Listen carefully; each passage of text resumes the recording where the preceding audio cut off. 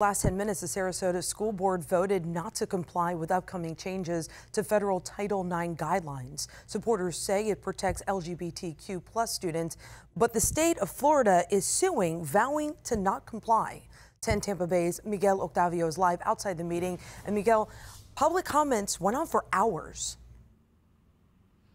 And Carolina, the majority of them took aim against Bridget Ziegler again. This time, this was over her resolution to not comply with Title IX changes.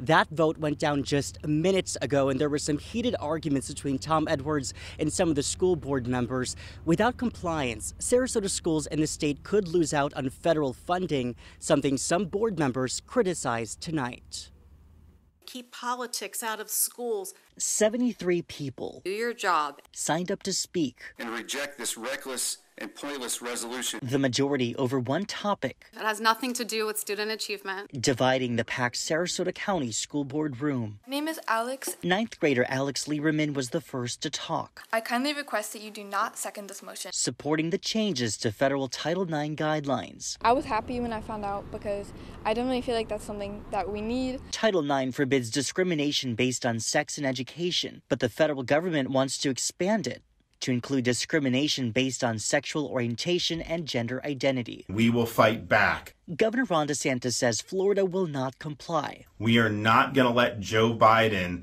try to inject men into women's activities. We are not going to let Joe Biden undermine the rights of parents. Board member Bridget Ziegler vows to uphold the state's challenge she says the changes are an attack on women and girls. And we will fight back. The minority who spoke supported her resolution. I expect you to do the right thing. Protect my kids. Opponents have cited upholding state laws like using bathrooms based on sex at birth. But the majority in the room argue the Title IX changes protect all students. When the school district says they serve every student every day, they don't mean queer and trans students, and that's a heartbreaking reality.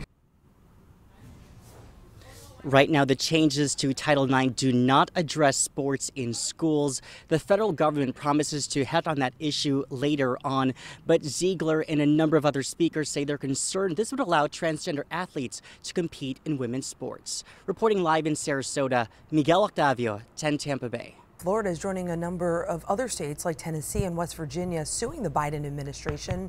The Title IX changes take effect in August.